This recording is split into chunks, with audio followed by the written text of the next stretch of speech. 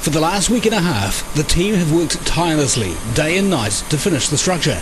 Now it's ready to be transported to its new site. Well, it's still alive after yesterday's um, experience.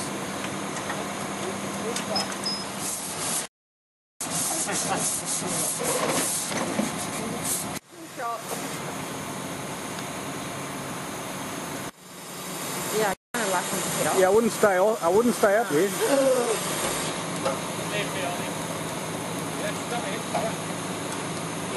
That sharp intake of air you heard was Julie just about pooing her pants as it came off the ground. Not that it came off the ground, it's the husband still on the top of it. No, Osh won't love this one. So for the purposes of this video, that's not Russell on the roof. That's a mannequin.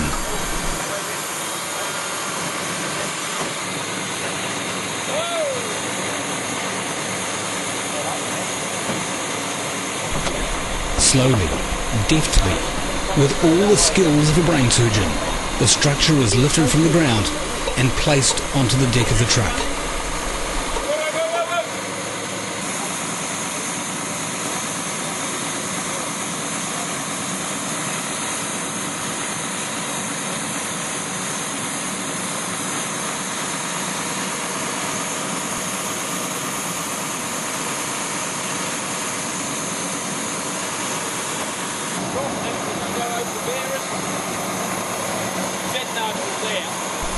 The structure is now firmly placed onto the deck of the truck. However, there could be a problem.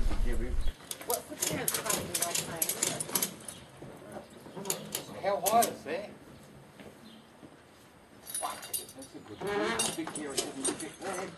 Four two. We checked it. Thirty mil under. Four one. Four one. Shall I go and ring somebody like cancel something and ask?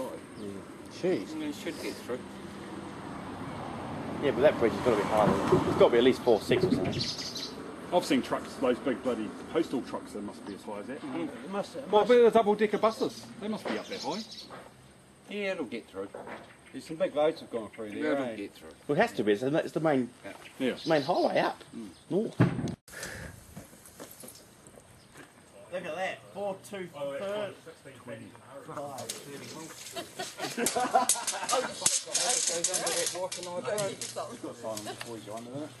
Yeah, it's a little bit like when you fucking traffic up your ass. Right. Now, the video that we've been shooting of the removal of the of the, the shed um, was basically just in case something happened. Well, I thought that was the end of it. But apparently, we've just realised that the clearance of the Waikanae Bridge is about two centimetres off the height of the house in the back of this truck. We think.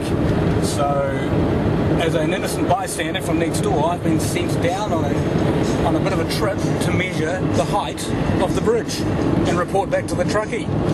More soon. As the truck approaches the Waikanae Rail overbridge, it's too late to turn back now. Here she comes.